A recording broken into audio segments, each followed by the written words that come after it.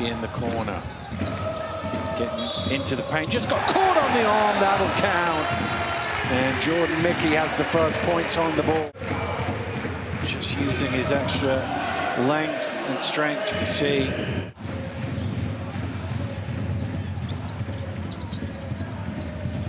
Nice extra pass, great ball movement here. Well, Coach Scariolo talked about it pre-game about wanting the ball to pop around. The best of it, really.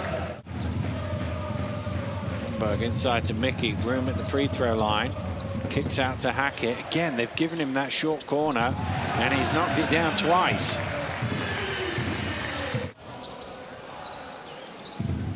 Lundberg. Mickey given the three, takes the three, makes the three.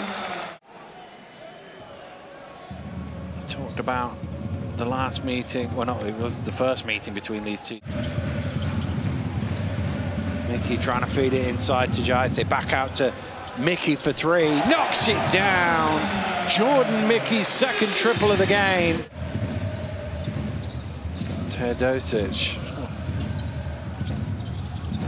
Mickey for three again, and he strings it. Jordan Mickey.